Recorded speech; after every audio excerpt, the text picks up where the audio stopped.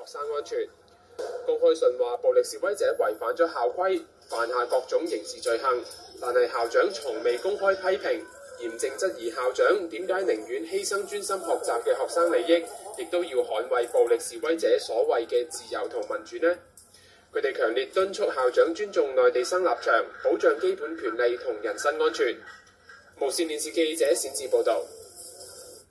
警务处处长卢伟聪